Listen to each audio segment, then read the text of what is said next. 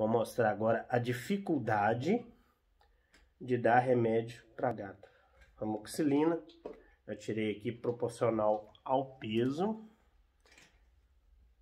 Uhum. Vai ter que ser assim, vai.